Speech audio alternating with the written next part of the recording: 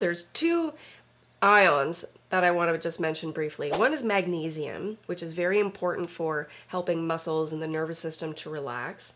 Magnesium can cross the membrane either through an ion channel or it can cross in between cells. So I guess it's not crossing a membrane. It can move through the cell or it can move between the cells. So magnesium can be paracellular or transcellular transport. And then the other last one I want to mention is calcium.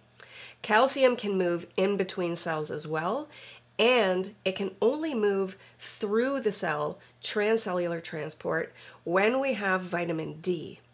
Vitamin D is important for activating the membrane channel that will move calcium.